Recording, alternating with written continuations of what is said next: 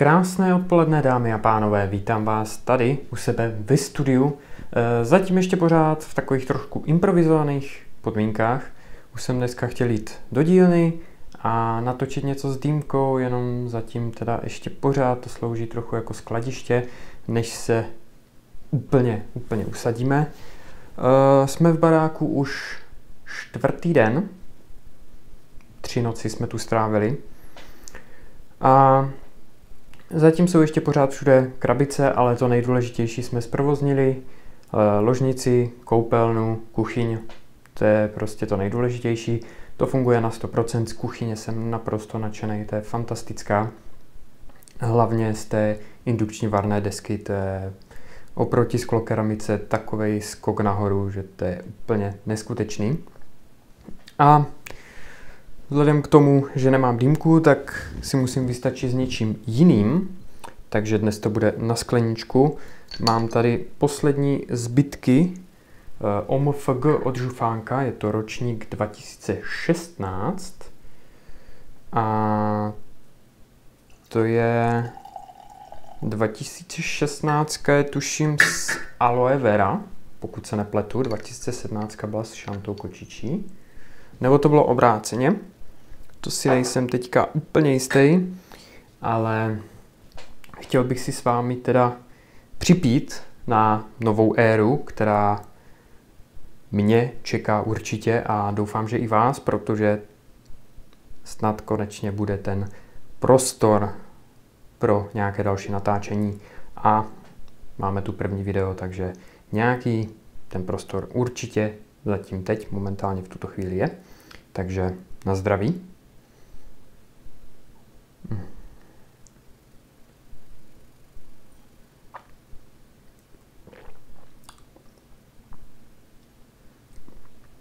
Já si vzpomínám, jak pár let zpátky jsem byl vyloženě viskovej a snad nic jiného, jak visku jsem nepil. Pak jsem objevil rumy, pak jsem objevil džiny a musím říct, že ten uh, svět toho, když to řeknu, tak jako lepšího alkoholu je úplně úžasný. Myslím, že si tam vybere úplně každý.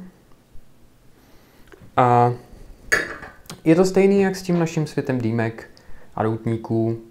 Pro každého se najde něco, ať už to jsou aromatiky, přírodní tabáky, latakie, nebo whisky, rumy, džiny, brandy. Nevím, co ještě rádi pijete. Můžete se se mnou podělit v komentářích, protože rád zkouším nové věci a vždycky, když mi takhle něco někdo napíše, jak je z toho nadšený, tak mám chuť hned to vyzkoušet a udělat si takový vlastní obrázek.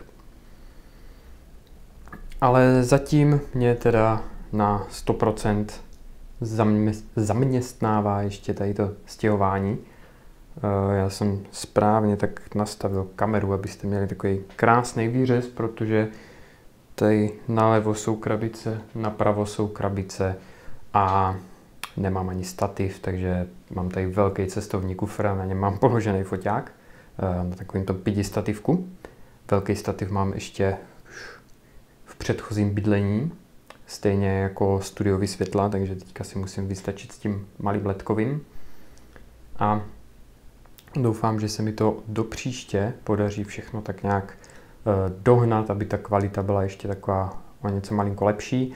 A taky doufám, že příště už se uvidíme eh, v té mojí dílně, Momentálně tam nemám žádný ani pracovní stůl, ani nic k sezení, takže by to bylo takový asi jako na stojáka. Zatím jediný, co tam mám, je pořád umývadlo. Ale umývadlo se taky hodí. A rád, rád bych si tam už nastěhoval ty věci, protože eh, většina toho, co je tady v těch krabicích, přijde právě do dílny. Ať už to jsou tabáky, dýmky mám vystaveny v obýváku, na té, v té obytné stěně, hezky v poličce vyskládaný, ale tabáky už se tam tak nějak nevejdou a není to jako, no, plechovky jsou pěkné, ale z nějaký ty zavařovačky nejsou nic moc extra, co byste si tak vystavovali pro návštěvy.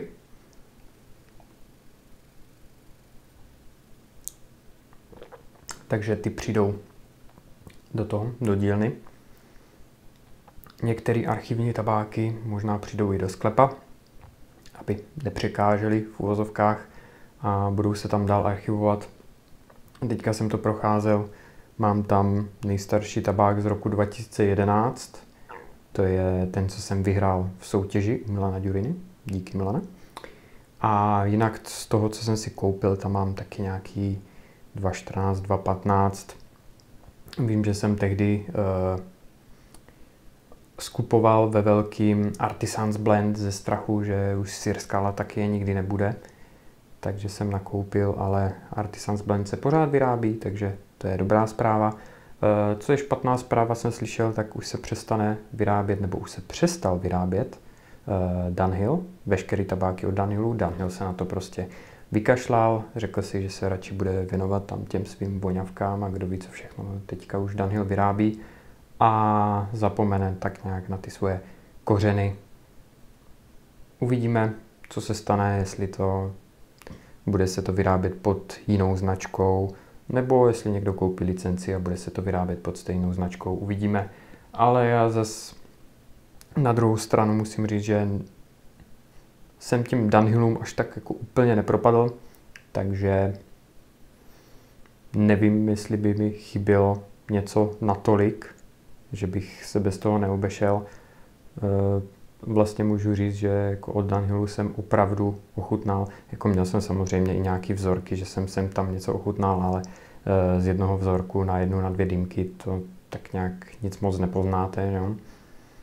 ale teďka momentálně mám v zásobě jednu plechovku uh, Nightcapu. Nightcap je výborný, ale zas říkám si, není to nic, co by nešlo nahradit.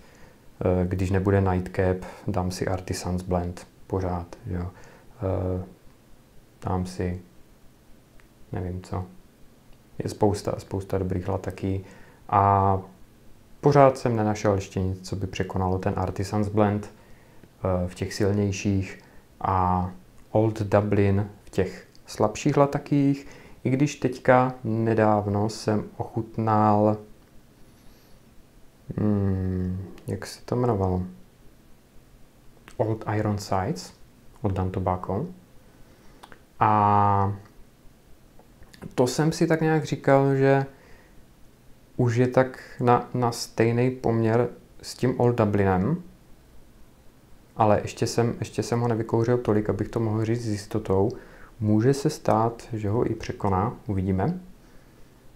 A ještě je to samozřejmě spousta, co, co chci ochutnat.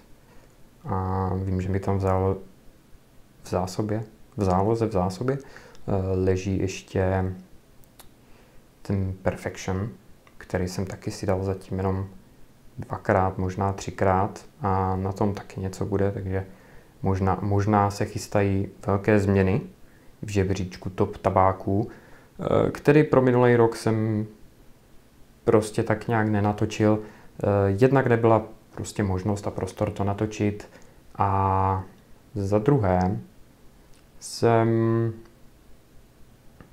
celý minulý rok tak nějak se naplno věnoval té stavbě, takže když, když byla prostě nějaká jako volná chvilka, tak se by strávil na stavbě nebo nedej bože tady nějakým tím papírováním na úřadech.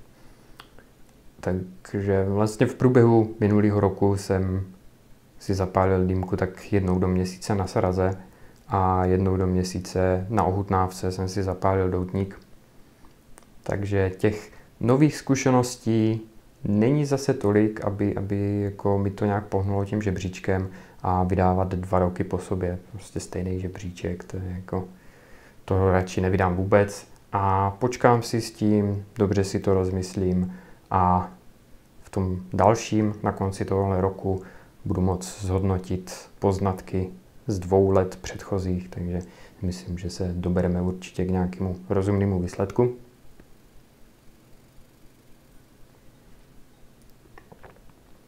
Tak Taky doufám, že se dneska nenajde někdo, kdo mě bude kritizovat, že bych pil ze špatné skleničky. A. to tak nádherně voní, tak prostě ten gin má takový svoje jedinečné kouzlo. Prostě ta svěží bylinková vůně. Aniž by to byl nějaký bylinej likér, jo, ale je to prostě opravdu poctivá pálenka. Hm. Já přebíhám od jednoho tématu k druhému, tak, tak jak mi to vystane na mysli, protože tak nějak zase točím neplánovaně. A hlavu mám jak balón z posledních dní. A zkušenosti se stěhováním už, už mám víc než dost, protože teďka jsme to se ženou tak nějak si dělali bilanci, že za ty čtyři roky jsme se už třikrát stěhovali a doufáme teda, že tentokrát už to bylo naposledy. Eh, pokud se nestane nějaká vyloženě katastrofa, tak nevidím důvod, proč bychom se měli stěhovat. Jsem z toho nového bydlení naprosto nadšený, jenom teda si musím zvykat na ty schody, protože běhat každý den několikrát nahoru dolů eh, je dost náročný, ale bydleli jsme jako celý život jsem vyrůstal ve třetím patře bez výtahu, takže tehdy jsem se toho taky hodně naběhal a vím, že se na to dá zvyknout, ale dá se z toho taky hodně rychle odvyknout. Takže za pár dní, týdnů, měsíců budu mít tak namakaný stehna, že budu moct závodit na kole za chvilku. Na to už se taky těším, až přestane tady ten mráz. Eh, tenhle týden je to opravdu obzvlášť vypečený mráz. Viděl jsem tam bylo nějakých minus 15, nevím jestli tady přímo u nás, ale jako v okolí, v Olomouci, myslím, hlásili minus 15. A dneska jsem byl venku, nebo byli jsme venku na procházku, zase se stavit na úřady, jo, aby toho nebylo málo a nakoupit. A kromě toho, že je tam hrozná zima, tak i příšerně fouká, takže jsme se vrátili s omrzlinama obličeje. Hrozně příjemná záležitost. Takže jsem rád, že jsme si vzali celý týden dovolenou, abychom teda jako abychom se jednak aklimatizovali v novém baráku, abychom stihli všechno vybalit, abychom stihli všechno zařídit. Ale takový vedlejší efekt je, že se vyhneme a i vlastně tady tomuhle mrazu můžeme ho strávit doma, hezky, v teple, s podlahovým topením, který krásně hřeje do noh. Kdyby nám byla zima, tak si zatopíme v krbu, což jsme i teďka dva, dva večery po sobě udělali. A musím říct, že to je prostě nádhera, takhle si večer zatopit. Je to mnohem, mnohem lepší než televize, prostě sledovat ty plameny. Úžasný relax. No. Takže já myslím, že pro dnešek to bude všechno. Máme nějakých 13 minutek, takže já myslím, že to je tak akorát. Uh, nevím, jestli mám o čem ještě povídat. No. Ještě bych vám mohl popovídat o autě, to je strašně fajnová záležitost, jelikož teďka vlastně v lednu, hned začátkem roku, no, začali jsme to řešit už na konci minulého roku. Koupili jsme auto, víceméně od známého, a já, jelikož jsem 10 let neseděl za volantem, takže jsem si to musel tak nějak oživit. Na jednu stranu musím říct, že se mi to vrátilo, jak blesk čistého nebe.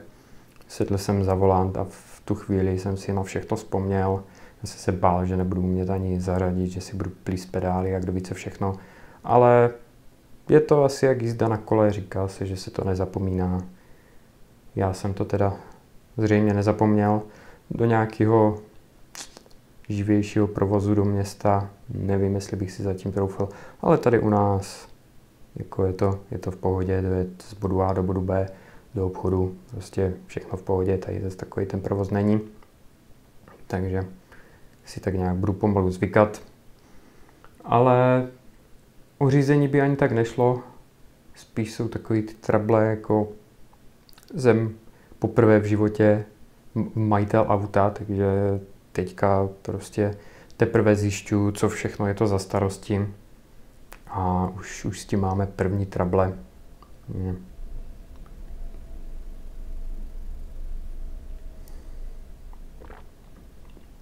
Zvlášť nám do toho přišel ten mráz, takže se nám stala už taková malá, malá nehoda, že mi tak trošku přimrzla ruční brzda, protože jsem si neuvědomil, že by se jako v zimě zatahovat vůbec neměla. To jsou prostě ty eh, problémy začínajících řidičů a prvomajitelů auta.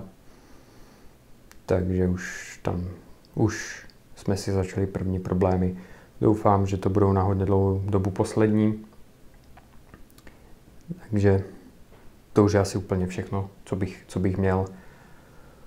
A doufejme, že od teď už to budou jenom samé radosti a žádné starosti.